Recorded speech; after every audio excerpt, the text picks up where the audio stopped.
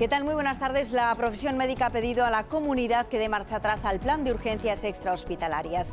Una decena, diez asociaciones, sociedades y sindicatos médicos reclaman a la comunidad que revierta el plan de las urgencias extrahospitalarias. Rechazan también el sistema de videoconsulta que defiende Madrid. El consejero de Sanidad asegura que la reapertura de centros sigue adelante. Eva Gómez encuestas dan a la izquierda. La líder de la oposición y el portavoz socialista exigen soluciones al conflicto. Clara Sánchez y torturó hasta la muerte a un hombre para robarle la caja fuerte. La colaboración ciudadana ha sido clave para resolver, Juan Giraldez, este crimen.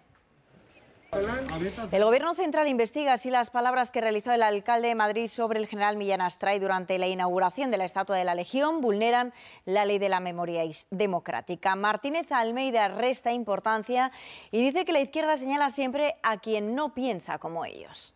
Mejor de lo esperado da alas a las bolsas americanas y a las europeas. Judith García.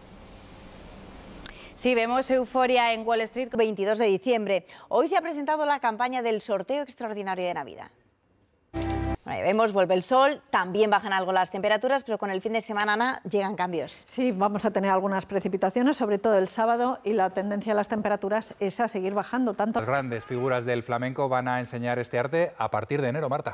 Por ejemplo, Arcángel Josemí Carmona o Javier Colina impartirán el primer máster de interpretación de flamenco de Madrid en el Centro Superior de Música Creativa con la violinista María Dueñas será finalmente con Javier Comesaña al violín por problemas leves de salud del artista. Mañana, eso sí, el coro de Radio Televisión Española celebrará la festividad de la patrona de Madrid en la Catedral de la Almudena con un concierto dirigido por Christoph Koenig.